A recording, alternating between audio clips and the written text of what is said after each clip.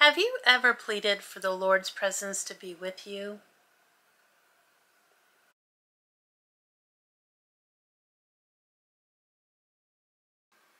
Hello and welcome to Mending Wings to Fly. My name is Amy Burgard and today I'm presenting a devotion entitled Enter In.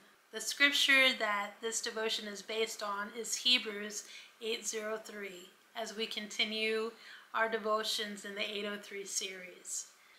Since every high priest is appointed to offer both gifts and sacrifices, so the Messiah also had to bring some sacrifice. In the Old Testament, the high priest was the only one allowed to go into the Holy of Holies to atone of the sin of the people, and this was only allowed once a year on the Day of Atonement. The high priests wore little bells on the bottom of their priestly dress in case they were struck dead and needed to be pulled out due to the holiness of God. Jesus paid the ultimate and final sacrifice when he died on the cross.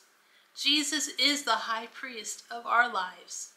The veil that divided the Holy of Holies from the inner courts or the holy place was rent from top to bottom we are now able to enter in and commune with our God without a mediator for us. Jesus paid it all and atoned for every sin. Jesus is inviting us to enter in. If you were asked to point to the center of who you are, where would you point? I would point to my heart right in the middle of my chest. This is where Jesus is inviting us, right in the center of his heart. He loves us, and his love is perfect. He desires we experience fully his love. His love makes us whole in our body, souls, and spirits. We then share with others the love we have received.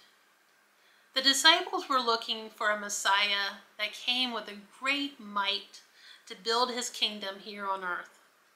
What Jesus the Messiah showed them was love.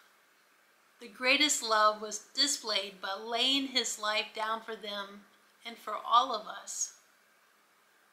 I wrote this devotion in the middle of the Pentecost weekend celebration. After Jesus was resurrected, he told his disciples he must go to the Father so that the Holy Spirit could descend. Who descended was the Holy Spirit with fire. The source of that power was love.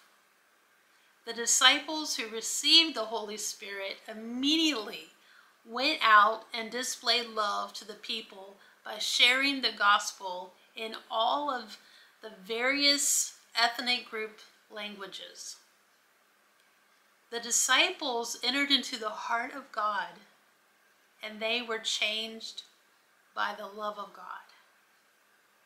The question I have for you today is Will you accept the invitation of Jesus Christ the Messiah and enter in? Dearest Jesus, I desire to go past the superficial part of life and enter into your heart. I thank you for paying the greatest sacrifice of all. I thank you that you did this because of your great love for me. I accept your invitation to enter into the center of your heart. This is where I know I will receive your love and the wholeness I so desire to have in my body, soul, and spirit. I then want to share that love with those you place into my life. Thank you from the bottom of my heart. In Jesus' name, amen. You know, the Lord gave me a beautiful revelation. A lot of times I hear Christians almost plead with the Lord to be there with them. And the Lord spoke to me and said, Amy, my word promises that I never leave you or forsake you. See, the Lord is always present with us. So the Lord gave me his perspective. And he says, Amy, I'm always inviting my children to come and enter in. It's an invitation. He is always, his word says, Come to me, all who are weary and heavy laden, and I will give you rest. He even shares with us that how you enter into his presence is by thanksgiving and praise. See, he's he's not a God that wants to be one that we work at or we are far off from. He is close. It's it's us that have to say, Father, I want to enter in. I want to enter into your presence. So I hope today you will take him up on his invitation to enter in because he loves you so very much. God bless you. And remember that loving God and loving others gives us our wings to fly.